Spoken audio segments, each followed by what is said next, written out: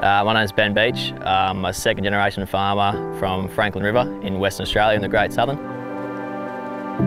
Yeah, harvest is definitely one of the most important moments of the year. We, sort of, we, work, we work all year to get to the point where we are today, taking the crop off. So this is our, um, behind us we've got our truth, our lie detectors behind us here, and they'll tell us what we've actually, if we've done what we've done all year, if it was effective or if it was a waste of time.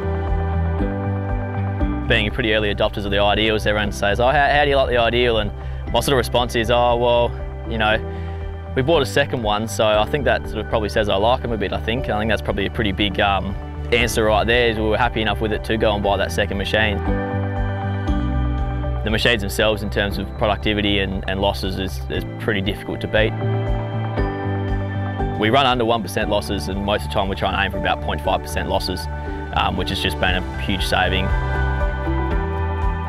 Cab's insanely quiet, big cab. The controls are, are great. Um, we've got Fendt tractors and Rogator sprayers, so we're all very comfortable with the controls. It's the same armrest, the same screen, so we're very um, acclimatised to the controls that the Ideal headers have. I love my foot pegs too. The Harley foot pegs the best thing ever.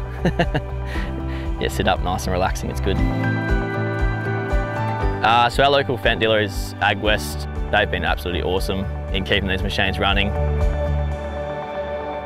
the technology we're starting to use is becoming a huge key role with variable rate mapping. You know, we've got the closest header has a protein meter in it. That protein meter's um, sort of opened our eyes a bit to where we're putting our nitrogen, where the nitrogen's needed more.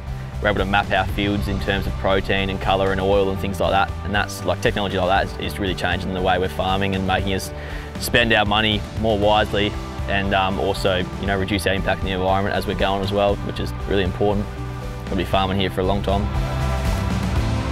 I love everything about farming. I love the stress of farming. You know, it's a drive, it's a constant drive to, to get on and get the next job done.